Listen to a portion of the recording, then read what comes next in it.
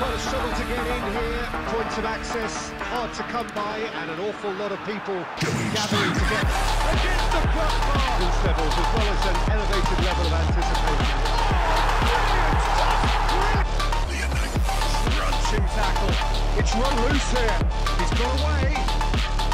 It's well, now to Maybe we can attribute that to, uh, to a loss of focus.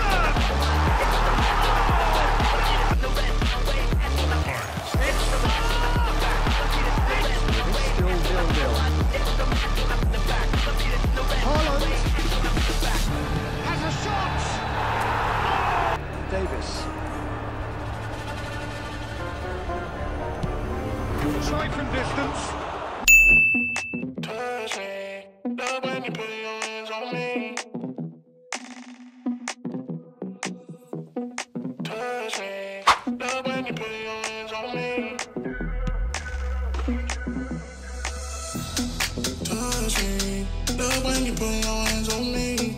Trust me. Watch me. Give you a good time.